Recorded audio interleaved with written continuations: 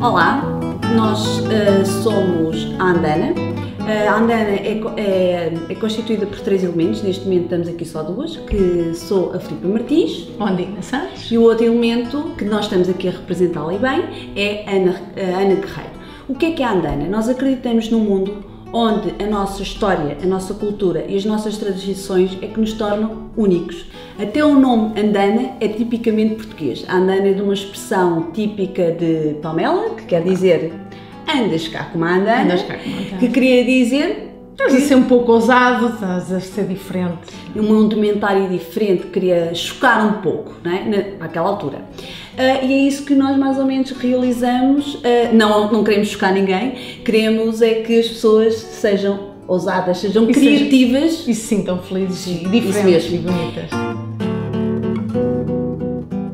Vou-vos mostrar aqui um dos, um dos lenços inspirados na nossa cultura, que é os lenços dos namorados, em que nós vamos retirar, retirarmos pequenos pormenores, o coração, o próprio pássaro e realizamos um padrão lenço dos namorados bem andana.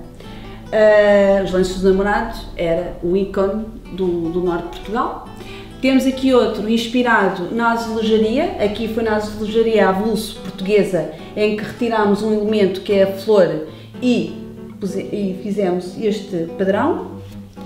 E outro que é inspirado na um azulejo hidráulico de um edifício antigo de Lisboa. Uh, também queremos uh, usar os materiais uh, que estão disponíveis, fazer esta interligação de materiais e, e, aqui vamos conhecendo outras pessoas também e vamos criando esta, estas Sim. sinergias que vão nos dar ainda mais riqueza ao nosso trabalho. Quatro paredes caiadas, um cheirinho alecrim,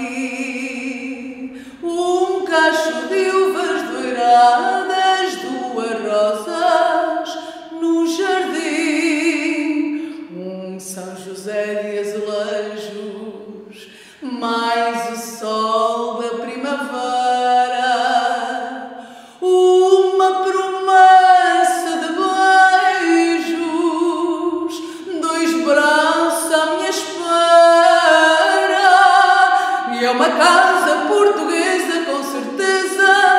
E é com certeza uma casa portuguesa. E é uma casa portuguesa, com certeza. E é com certeza uma casa portuguesa e é com certeza.